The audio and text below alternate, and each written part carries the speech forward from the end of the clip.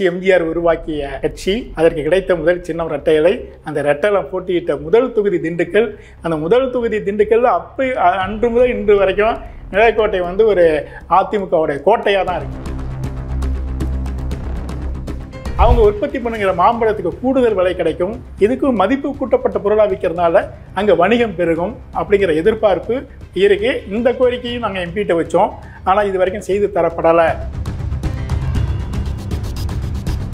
தேர்தலுக்கு தேர்தல் வர்ற மாதிரி தான் அவங்களுடைய செயல்பாடு இருக்குது. அதனால் அவங்கள மையம் வச்சு இந்த நாடாளுமன்ற தேர்தல் நடக்கலை. ஸோ ஸ்டேட் கவர்மெண்ட் இங்கே இருக்கக்கூடிய ஸ்டேட் கவர்மெண்ட் என்ன எதிர்கட்சி என்ன இதில் யாருக்கு நம்ம வாக்களிக்கலாம் அப்படிங்கிற மனநிலை வரும்போது ஐத்தமிழ் நியூஸ் நேயர்களுக்கு வணக்கம். மக்களவை தொகுதிகள் குறித்த ஐத்தமிழ் நியூஸ் சர்வேயில் தற்போது திண்டுக்கல் நாடாளுமன்ற தொகுதி குறித்து பார்ப்போம்.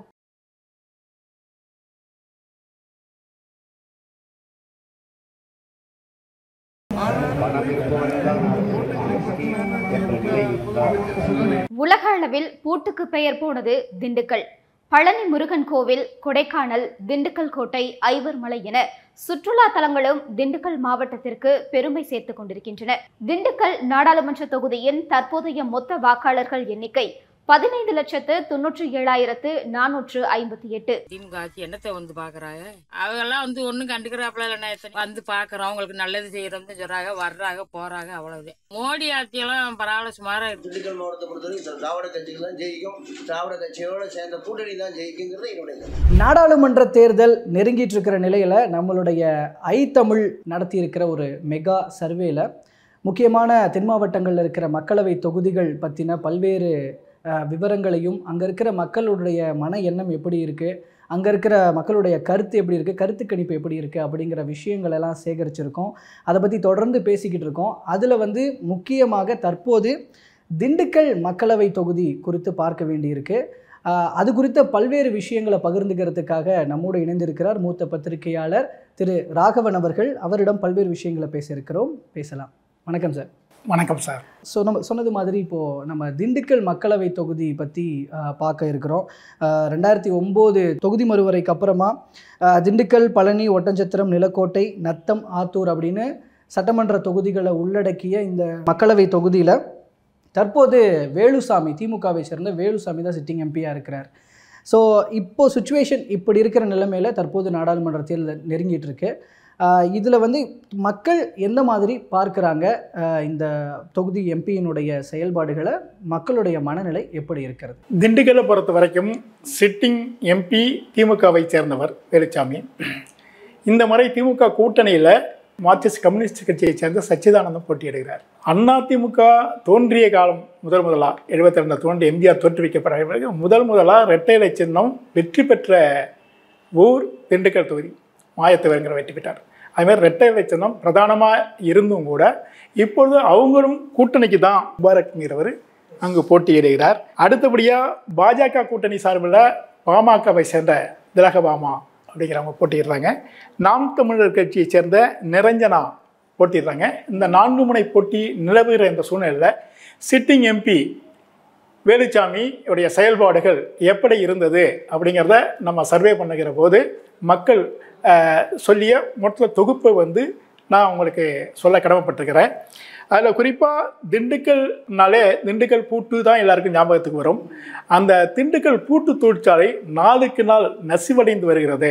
அதை மேம்படுத்தவோ அந்த தொழிலை வர வரையறைப்படுத்தவோ அது அந்த தொழிலாளர்களுடைய வாழ்வாதாரத்தை மேம்படுத்தவோ எம்பியாக இருந்த சிட்டிங் எம்பி செயல்பாடு செயல்படலை அதை மேம்படுத்த முயற்சி எடுக்கலை அப்படிங்கிற குமரல் அந்த தொழிலாளர்கள் மக்கள்கிட்ட இருப்பதை நம்ம சர்வேயில் காண முடிஞ்சது.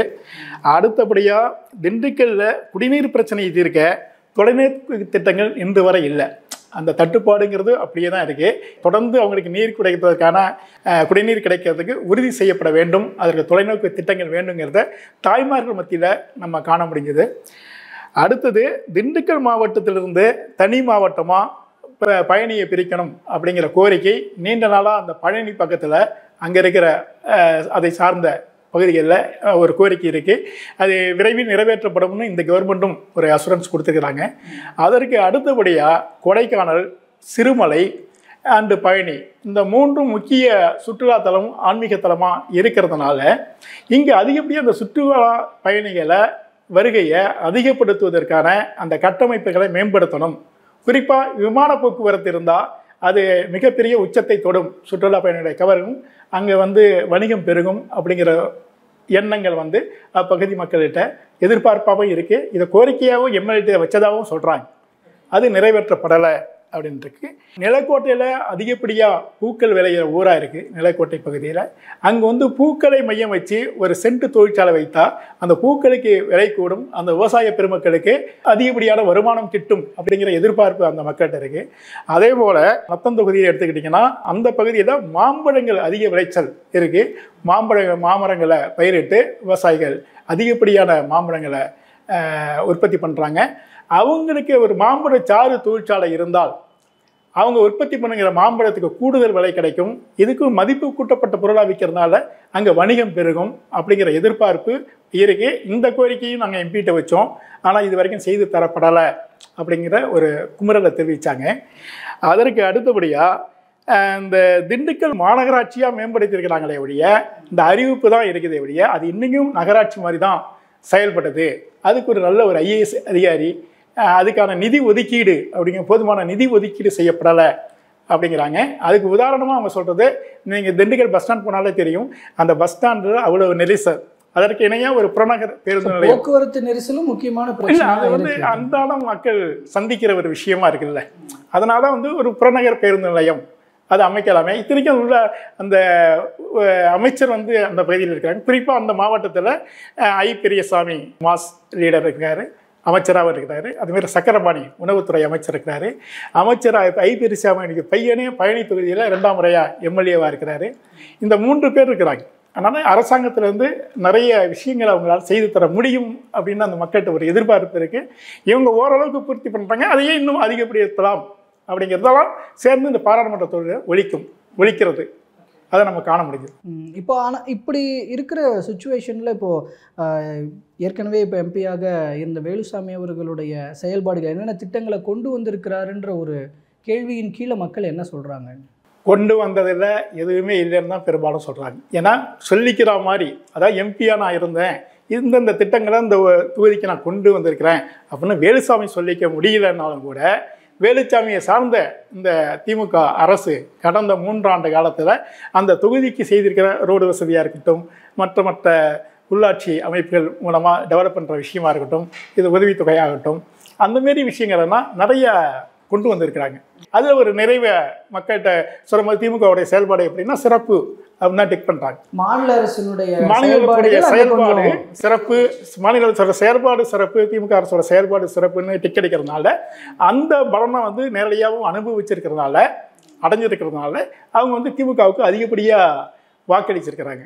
ஓகே இப்போ ஏன்னா அவருடைய செயல்பாடை மையப்படுத்தி தான் இப்போ என்னென்ன கே யார் எந்தெந்த கேண்டிடேட்ஸ் நிற்கிறாங்கன்றதையும் நம்ம கொஞ்சம் பார்க்க வேண்டியிருக்கு. ஏன்னா இப்போது திமுக கூட்டணி சார்ந்து அப்போது திமுக எம்பி இருந்திருக்கிறார். அப்போ அவருடைய செயல்பாட்டை பொறுத்து திமுக சார்பில் யார் நிற்கிறாங்க அப்படின்னு பார்க்கும் பொழுது அதில் வந்து ச டிஎம்கே அலையன்ஸில் சச்சிதானந்தம் இருக்கிறார். ஸோ அப்போ அவருக்கான அந்த இப்போ நிற்கிற கேண்டிடேட்ஸை பொறுத்து மக்கள் அவங்கள வந்து எப்படி பார்க்கிறார்கள் அப்படிங்கிறது. திமுக அதிமுக பிஜேபியில் இருக்கிற நிற்கிறவங்க அண்டு நாம் தமிழர் அப்படின்னு சொல்லிட்டு. இந்த நான்கு வேட்பாளர்களை பற்றின பார்வை எப்படி இருக்குது நான்கு வேட்பாளர்களில் ஏற்கனவே கம்யூனிஸ்ட்டு ஒரு முறை வென்ற தொகுதி தான் அது. அதே நேரத்தில் இது திண்டுக்கல்ங்கிறது அதிமுகவுடைய கோட்டையாக இருந்த தொகுதியும் கூட ஆனால் அதை வந்து இப்போ மாற்றி அமைச்சிட்டாங்க. கடந்த ஐ. பெரியசாமி தொடர்ந்து ஐந்து முறை வெற்றி பெற்று ஒரு மாஸ் தலைவராக அந்த பகுதியில் பார்க்கப்படுறார். அவரை மாதிரியே அவர் பையன் பயணியில் இருக்கிறாரு. எம்எல்ஏவா செந்தில் குமார். அவரும் அதே மாதிரி அப்பாவையே ஃபாலோ பண்ணுறாரு சக்கரபாணியும் செய்கிறார் இவங்கெல்லாம் இவங்களுடைய செயல்பாடுகள் எல்லாத்தையும் இவங்களுடைய இவங்களுடைய ஓட்டு வங்கி இருக்குல்ல. இதையெல்லாம் இப்போ வந்து அறுவடை செய்ய போகிறது கூட்டணி கட்சியான சச்சிதானந்தம் தான். அதனால் அவர் வந்து இதுக்கு முன்னாடி வேலுச்சாமியை மறந்துட்டாங்க. அவர் செஞ்சார் செய்யலைங்கிறத பற்றி அவங்களுக்கு கவலை கிடையாது. ஆனால் அவர் சார்ந்த கட்சி செஞ்சுருக்குது. அவர் சார்ந்த எம்எல்ஏ செஞ்சுருக்கிறாங்க. அந்த அறுவடையை வந்து இப்போ அறுவடை பண்ணி பண்ண போகிறவர் சச்சிதானந்தம். கூட்டணி கட்சி. அதனால் கூட்டணி கட்சியுடைய பலம் அதாவது குறிப்பாக திமுக காங்கிரஸ் விடுதலை சிறுத்தைகள் ரெண்டு கம்யூனிஸ்ட் இயக்கங்கள் அங்கே தொழிலாளர்கள் சார்ந்த பகுதி அதெல்லாம் அவங்களுக்கு வந்து பெரிய ப்ளஸ் பாயிண்டாக இருக்குது ஏன்னா இந்த சட்டமன்ற தொகுதிகள் வாரியாக உள்ளே இருக்கிற ஆறு சட்டமன்ற தொகுதிகளுக்கு உள்ளார்ந்து அப்படி தொகுதிகள் வாரியாகவும் நம்ம எடுத்திருக்கோம். அப்படி பார்க்கும்போது நிலக்கோட்டையில் ஆனால் ஏடிஎம்கே வந்து டிஎம்கே விட அதிகமாக பர்சன்டேஜ் வாங்குறாங்க. அந்த இடத்துல அப்போது அந்த தொகுதியில் ஏடிஎம்கேயோட டாமினேஷன் அதிகமாக இருக்கும் இப்போது இன்னமும் அந்த இடத்துல மாறாமல் இருக்கும் ஆமாம் பழைய ஈடுபாட்டில் அந்த ரெட்டை இலைக்கு இருக்கிற கிரேஸ் தான் சொன்னேன். முதல் முதலாக கட்சி ஆரம்பித்து எம்ஜிஆர் உருவாக்கிய கட்சி அதற்கு கிடைத்த முதல் சின்னம் ரெட்டையலை அந்த ரெட்டையில போட்டியிட்ட முதல் தொகுதி திண்டுக்கல். அந்த முதல் தொகுதி திண்டுக்கல்ல அப்போ அன்று முதல் இன்று வரைக்கும் நிலைக்கோட்டை வந்து ஒரு அதிமுகவுடைய கோட்டையாக தான் இருக்குது அதனால தான் இன்றைக்கும் அது வந்து அந்த மக்கள்கிட்ட எதிரொலிக்குது. நாங்கள் ரெட்டலைக்கு தாங்க ஓட்டு போடுவோம். அப்படின்னு சொல்கிறாங்க அதனால் இப்போ வந்து அங்கே நிற்கிற வேட்பாளரும் அஹ், ரெட்டை இலை சின்னத்தில் தான் நிற்கிறார் அதிமுக கூட்டணி நிற்கி நிற்கிறவரும் அது அவருக்கு ஒரு ப்ளஸ் பாயிண்டாக இருக்கும். ஓகே இப்போ நீங்கள் சொல்கிறது அப்போ திமுக அதிமுக. அதிமுகவின் கோட்டையாக இருந்தது. இப்போ திமுக அமைச்சர்கள் இப்போ இருக்கிறவங்க அவங்களோட செயல்பாடுகள் மூலமாக தங்களோட மாறி மாறி வந்திருக்கு. அப்படி மாறி வந்ததுக்கு உதாரணமாக சொல்லலாம். அங்கே இருந்த அமைச்சர் ஜெயலலிதா பிரதர் கோலேச்சி அமைச்சர் நத்தம் விஸ்வநாதன். அவரேயே அவர் தொகுதியை மெயின்டைன் பண்ண முடியல. ரெண்டு முறை இங்கே தோத்திருக்கிறார்.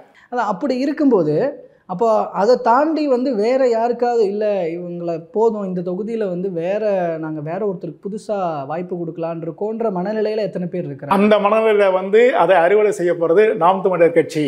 ஓகே. அவங்களுக்கு வந்து சில தொகுதியில் நீங்கள் பார்த்தீங்கன்னா நாம் தமிழர் கட்சி வந்து பிஜேபி அலையன்ஸ் அவங்களை விட தாண்டி பர்சன்டேஜ் இருக்கு. நீங்கள் இந்த ஓவரால் இந்த ஆறு தொகுதி ஓவரால் பார்த்தீங்கனாலே நாம் தமிழர் கட்சி பிஜேபி அலையன்ஸோட அதிகப்படியாக வாங்குறாங்க. அதனால் அதுவும் குறிப்பாக ஒரு தொகுதியில் வந்து நாம் தமிழர் கட்சி வந்து அதிகம் ஏழு பிஜேபியோட ஏழு பர்சன்டேஜ் ஓட்டு வந்து அதிகமாக வாங்குறாங்க. குறிப்பாக அந்த நிலக்கோட்டையில். அதனால் படித்தவர்கள் இளைஞர்கள் அல்லது அதிமுக ஓட்டு போட வேண்டாம் திமுகவுக்கு ஓட்டு போட வேண்டாம் இந்த ரெண்டையும் நம்ம பார்த்துட்டோம் சரிச்சிட்டோம். அதனால் புதுமுக வேட்பாளர் யார்?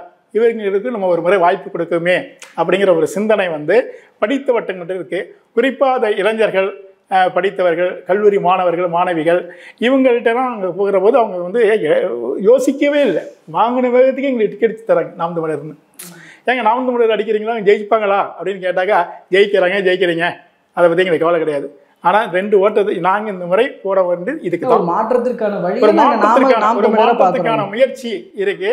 நாம் தமிழர் கட்சியை வந்து நம்ம குறைத்து மதிப்பிட முடியாது. அவங்க கடந்த தேர்தலை விட இந்த தேர்தலில் அதிகப்படியான பர்சன்டேஜ் வாங்குவதற்கான வாய்ப்புகள் அதிகமாக தென்படுது. ஆனால் இப்போ பாஜக கூட்டணியில் பாமகவுக்கு அந்த இடத்த ஒதுக்கி இருக்கிறாங்க அப்படின்னா ஒரு தங்களுக்குன்னு ஒரு நம்பிக்கையான ஒரு ஒரு- ஒரு ஒரு ஆதாரம் எதுவும் இல்லாமல் அந்த இடத்துல பாமகவுக்கு கொடுத்துருக்க மாட்டாங்க அப்படின்னு பார்க்கணும். இல்லை. அப்போ எந்த நம்பிக்கையில் அங்கே பாமகவுக்கு கொடுத்து இல்லை. கடந்த முறையும் அங்கே வந்து பாட்டாளி மக்கள் கட்சி போட்டிட்டு இருக்கு ஆனால் அவங்க வந்து அப்போ இருந்த வேலுச்சாமி ஏழு லட்சத்து சொச்சம் ஓட்டுகளை வாங்குற போது இவங்க பாமகவால் ஒன்றே முக்கால் லட்சம் ஓட்டுக்கு சுமார் ரெண்டு லட்சத்துக்கு குறைவான ஓட்டை தான் வாங்க முடிஞ்சது.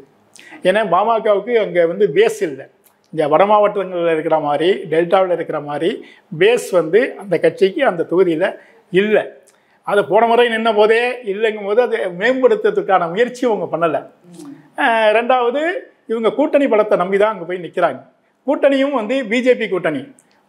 கணிசமானவர்களுக்கு சிறுபான்மையர் ஓட்டும் அந்த வாக்கு அந்த இருக்குது அந்த ஓட்டுகள் வந்து பிஜேபிக்கு விழாது. எங்கே பார்த்தாலும் இருக்கிற அதே நிலவரம் தான் அங்கேயும் இருக்குது ஸோ இவங்க கூட்டணி அமைச்சிருக்கிற பிஜேபிக்கும் ஓட்டு இல்லை ஓட்டு வங்கி இல்லை இவங்களுக்கும் ஓட்டு வங்கி இல்லை. அதனால் அதை பின்னணி அதை பின்னோக்கி இப்போ அண்ணா திமுகவுக்கு போட வேண்டிய ஓட்டோ இல்லை திமுகவுக்கு போட வேண்டிய ஓட்டோ அவங்க ரெண்டு பேரும் கூட்டணி கட்சிக்கு தான் போடுறாங்க. அப்போ ஸோ அதில் அதிருப்தி அடைகிறவங்க அந்த ஓட்டை வந்து யாருக்கு போட முடியும்? அப்படின்னாக்கா பிஜேபிக்கு போட மாட்டாங்க. அதுக்கு பதிலாக நாம் தமிழுக்கு போடுறாங்க. அப்படி போடுகிற போது ஓட்டு பர்சன்டேஜ் நாம் தமிழுக்கு அதிகமாகும். வாக்குறுதிகள் சார்ந்து குறிப்பாக இப்போ திண்டுக்கல் மக்களவை தொகுதிக்கு உட்பட்ட பகுதிகளில் ஏரியா சார்ந்த சில திட்டங்கள் வாக்குறுதிகளாக கொடுக்கப்பட்டு அது நிறைவேற்றப்பட்டு இருக்கிறதா இல்லை நிறைவேற்றப்படாமல் இருக்கிற இருக்கிறதா அப்படிங்கிறத பொறுத்து இங்கே ஆதரவு நிலைப்பாடுன்றது ஒன்று இருக்கும் இல்லைங்களா? அந்த திட்டங்கள் பேசிஸில் எப்போதுமே எம்பியோடைய செயல்பாடுகள் அல்லது அவர் இந்த ஊருக்கு இதை செய்வாருன்னோ அவர் அப்படி பார்க்குறதே இல்லை. பெரும்பாலுமே பார்க்கறது இல்லை எங்கே பார்த்தாலுமே பார்க்கறது இல்லை எம்பின்னு ஒருத்தர் வருவார் டெல்லிக்கு போவார் வருவார். அவர் பார்லிமெண்ட்டில் குரல் கொடுக்கறது உங்களுக்கு தெரியாது. அது சில எம்பி தான் அதை கொண்டாந்து அந்த ஏரியாவில் மக்களுக்கு தெரிய வைக்கணும் மீடியா மூலமாக கொண்டு போவாங்க. அந்த மாரி தான் இருக்கிறாங்க. அதில் வந்து இந்த கொரோனா வந்ததுனால திமுக எம்பியோடைய ஃபண்டெல்லாம் வந்து டோட்டலாக கொரோனாவுக்கு எடுத்துகிட்டு போயிட்டாங்க. ஒரு ரெண்டு ஆண்டு பணம் தான் அவங்களுக்கு கிடச்சிது. அதில் வந்து ஓவரால் இந்த ஏதாவது ஒரு பஸ் ஸ்டாண்ட் கட்டி கொடுக்கறது ஒரு சேவை மையம் கட்டி கொடுக்கறது இந்த மாரி நலத்திட்டங்கள் வந்து செய்கிறது வந்து மிக குறைவாக தான் போச்சு. ஏன்னால் அவங்க குறைவாக செஞ்சதுனால அவங்க நிறைவாக வந்து மக்களிடம் சந்திக்கவும் முடியல. சந்தித்ததும் இல்லை. தேர்தலுக்கு தேர்தல் வர்ற மாதிரி தான் அவங்களுடைய செயல்பாடு இருக்குது. அதனால் அவங்கள மையம் வச்சு இந்த நாடாளுமன்ற தேர்தல் நடக்கலை. ஸோ ஸ்டேட் கவர்மெண்ட் இங்கே இருக்கக்கூடிய ஸ்டேட் கவர்மெண்ட் என்ன? எதிர்க்கட்சி என்ன? இதில் யாருக்கு நம்ம வாக்களிக்கலாம்? அப்படிங்கிற மனநிலை வரும்போது இப்போ அந்த தொகுதியை பொறுத்த வரைக்கும் திமுக கூட்டணி ஃபுல்ஃபில் பண்ணிருக்கனால ஃபுல்ஃபில்னு சொல்ல முடியாது. ஓரளவுக்கு அந்த பலன் ஏதோ ஒவ்வொரு வீட்டுக்கும் போய் சேர்ந்துருக்குல்ல ஒரு ஆயிரம் ரூபா பணம் இருந்தாலும் அது ஒரு வீட்டுக்கும் போய் சேர்ந்துருக்குது. அதனால் அந்த பெண்கள் இடத்துல அந்த கிரேஸ் இருக்குது அது வந்து நம்மளால் இந்த இந்த இது திமுக தானே கொடுத்தாங்க. அவங்க சொல்கிறாங்க அவங்களுக்கு ஓட்டு போடுது. நானும் அடுத்து அதான் கேட்கணும்னு நினச்சேன். பெண்கள் இளைஞர்கள் இவங்கெல்லாம் வந்து அவ- அதாவது ஒரு இந்த மாதிரி ஜெண்டர் பேசிஸில் இப்படி ஒரு ஒரு ஒரு மாசான ஒரு கம்யூனிட்டி அப்படின்ற அந்த பேசிஸ்ல எல்லாம் வந்து எப்படி நிர்ணயிக்கிறாங்க? எந்த எந்த மனோபாவத்தில் இருக்கிறாங்க? குறி- இப்போ சொன்னது மாதிரி பெண்கள் இளைஞர்கள் இவங்கெல்லாம் என்ன மனோபாவத்தில் இருக்கிறாங்க? நாம் சர்வே எடுக்கும் போதே நகரத்தை ரெண்டாக பிரித்தோம் நகரத்தையும் ஆண்க ஒரு மூ ஒரு பார்லிமெண்ட் தொகுதிக்கு மூவாயிரம் பேரை நம்ம சந்தித்தோம் அதில் நகரத்துக்கு வந்து ஆயிரத்தி ஐநூறு. அதில் வந்து பாதி பாதி. அதில் வந்து எழுநூற்றம்பது ஆண்கள் எழுநூத்தம்பது பெண்கள். அதில் வந்து எல்லா தரப்பு மக்களும் இருப்பாங்க. ஒரு ஆட்டோ ஓட்டுநர்லேருந்து ஒரு பூ விற்கிற பெண்மணி வரைக்கும் அதில் இருப்பாங்க. பணக்காரங்க இருப்பாங்க. கட்சிக்காரங்க இருப்பாங்க. பொது சமூக சபர்கள் இருப்பாங்க. இப்படி பலதையும் உள்ளடக்கி தான் அதேமாரி அது ரெண்டாக பிரித்து பாக்கி ஆயிரத்தி ஐநூறுரூவா கிராமப்புறங்களில் இந்த ஆறு தொகுதியில் இருக்கிற கிராமப்புறங்களில் பிரித்து இங்கே ஒரு எழுநூத்தம்பது பேர் அங்கே ஒரு எழுநூத்தம்பது பேர் ஆண்களில் பெண்களில் இளைஞர்களில் இப்படி பலதரப்பட்ட மக்கள்கிட்ட கேட்குற போது குறிப்பாக பெண்கள் பெண்கள் வந்து மாசா சொல்கிறது இந்த திமுக கவர்மெண்ட் அடைந்த சில பலன்கள் அதேமாரி கல்லூரி பெண்கள் இந்த கல்லூரி பெண்கள் திட்டம் படிப்புக்கான உதவி இலவச பஸ் பாஸ் இந்த மகளிர் உதவி உதவித்தொகை இதெல்லாம் வந்து கிரேஸாக போய் சேர்ந்துருக்கு. நம்ம பெண்களுக்கு இந்த அளவு செய்கிறாங்க மகளிர் சுதவிழுக்கு இந்த பணத்தை வந்து அதிகப்படுத்தி தரதா சொல்லியிருக்காங்க அதை தான் இப்போ வாக்குறுதியாக கொடுத்துட்ருக்காங்க மத்திய அரசின் திட்டங்கள் குறித்த புரிதல் எதுவும் மத்திய அரசு திட்டங்களாம் அந்த தொகுதிக்கு சொல்லிக்கிற மாதிரி பெருசாக ஒன்றும் செஞ்சிடல செய்யவும் அந்த அந்த எம் அந்த எம்பியால் செய்யவும் முடியாது. அது செஞ்சதாகவும் சொல்லிக்கவும் முடியாது. அப்படி ஒன்றும் செய்யவும் இல்லை. இதெல்லாம் அந்த மக்களே சொல்கிறாங்க அவர் ஒன்றும் செய்யலைங்க. ஆனால் நாங்கள் வந்து திமுக கூட்டணிக்கு ஓட்டு போடுவாங்க. அப்படிங்கிறது தான் அவங்களுடைய மனநிலையாக இருக்குது ஆனால் அதே நேரத்தில் அதுக்கு இணையான ஓட்டை வந்து அண்ணா அதிமுக கூட்டணியும் வாங்குவதற்கான வாய்ப்புகளும் இருக்குது நாம் தமிழர் ஆனால் பிஜேபியை விட நாம் தமிழர் கட்சிக்கு ஓட்டு பர்சன்டேஜ் கடந்த தேர்தலை விட இந்த தேர்தலில் குறிப்பாக தமிழ்நாட்டிலேயே இந்த தொகுதியில் அதிகமாக இருக்கிறதுக்கான வாய்ப்புகள் நம்ம கண்கூட பார்க்க முடியுது. மக்களவை தொகுதி திண்டுக்கல் மக்களவை தொகுதி எப்படி இருக்கிறது? அந்த ஆர்டர் வைஸ் பார்க்கும்போது யார் யாருக்கான ஆதரவுகள் இருக்கிறது அப்படிங்கிறது? மேக்சிமம் அங்கே வந்து இந்த நம்ம சர்வேயில் எடுத்த மனநிலையில் இப்போ இருக்கிற இந்த ட்ரெண்டில் திமுக கூட்டணி முன்னணியில் இருக்கிறதா நம்ம உணர முடியுது. இது தேர்தல் நெருங்க நெருங்க மாற்றங்கள் வரலாம். இந்த பர்சன்டேஜ் கூடலாம். கடைசி நேரத்தில் ஏதேதோ விளையாடும். பணமும் புகுந்து விளையாடலாம். அப்படியெல்லாம் சூழ்நிலை வருகிற போது இந்த திமுக கூட்டணிக்கு வேணா நம்ம சொல்ற இந்த ஐம்பத்தோரு பர்சன்டேஜுங்கிறது கொஞ்சம் கம்மியாகலாம். ஒரு அஞ்சு சதவீதமோ பத்து சதவீதம் கம்மியாகலாம். இது அதிமுக கூட்டணிக்கு பதினஞ்சுங்கிறது இன்னொரு பத்து சதவீதம் கூடலாம். ஆனால் எப்படி கூடனாலும் குறைச்சாலும் முன்னணியில் இருக்கிறது திமுக கூட்டணி தானே இருக்கு. ஸோ பொறுத்திருந்து பார்க்கலாங்க சார். இப்போது தொகுதிகளில் உள்ளே இருக்கிற மக்களுடைய மனநிலை எப்படி இருக்கிறது அப்படின்னு களத்திலே போய் பார்த்துட்டு வந்துட்டு பல்வேறு விஷயங்களை சொல்லியிருக்கிறீங்க. நம்ம இதில் இன்னும் தொடர்ந்து பேச வேண்டியிருக்கிறது பேசலாம். பல்வேறு தகவல்களை இப்போதைக்கு எங்களோடும் எங்கள் மூலமாக மக்களோடு பகிர்ந்துக்கிட்டதுக்கு ரொம்ப நன்றிங்க சார் நன்றி சார். இரண்டாயிரத்து பத்தொன்பது தேர்தலில் அறுபத்தி நான்கு புள்ளி அறுபது வாக்குகளை பெற்றிருக்கிறார் வேலுசாமி. தென் மாநிலங்களிலேயே அதிக ஓட்டு வித்தியாசத்தில் அதாவது ஐந்து லட்சத்து முப்பத்தி எட்டாயிரத்து தொள்ளாயிரத்து எழுபத்தி இரண்டு வாக்குகள் வித்தியாசத்தில் வேலுசாமி வெற்றி பெற்றார்.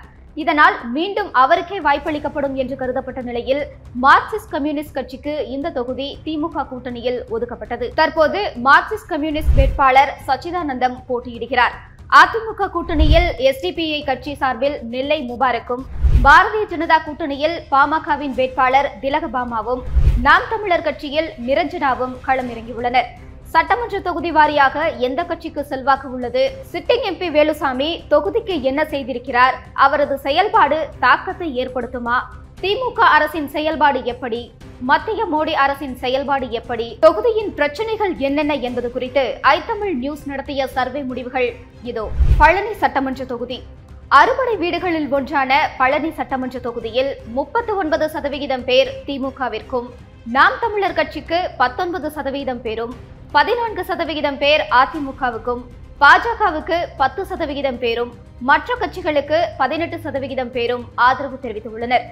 திமுக எம்பியின் செயல்பாடு சிறப்பாக இருப்பதாக முப்பது சதவீதம் ஆண்கள் பத்தொன்பது சதவீதம் பெண்கள் என நாற்பத்தி ஒன்பது சதவீதம் பேர் கூறியிருக்கிறார்கள். முப்பத்தைந்து சதவீதம் பேர் சுமாராக இருப்பதாகவும் மோசம் என்று பதினாறு சதவீதத்தினரும் கருத்து தெரிவித்திருக்கிறார்கள். தொகுதியின் முக்கிய பிரச்சனையாக பழனியை தனி மாவட்டமாக அறிவிக்காதது என ஐம்பத்தி நான்கு சதவிகிதம் பேர் தெரிவித்துள்ளனர். கூட்டு தொழிலை மேம்படுத்தவில்லை என இருபத்தி ஆறு சதவிகிதம் பேர் தெரிவித்துள்ளனர். மலர் வியாபாரத்திற்காக தனியாக வணிக வளாகமும் அமைந்துள்ள நிலக்கோட்டை தொகுதியில் அதிமுகவுக்கு முப்பத்தைந்து சதவிகிதம் பேரும் திமுகவுக்கு இருபத்தி எட்டு சதவிகிதம் பேரும் இருபத்தி இரண்டு சதவிகிதம் பேர் நாம் தமிழருக்கும் பதினைந்து சதவிகிதம் பேர் பாஜகவுக்கும் ஆதரவு தெரிவித்துள்ளனர். எம்பியின் செயல்பாடுகளுக்கு சரிசமமாகவே வாக்காளர்கள் கருத்துக்களை பதிவிட்டுள்ளனர்.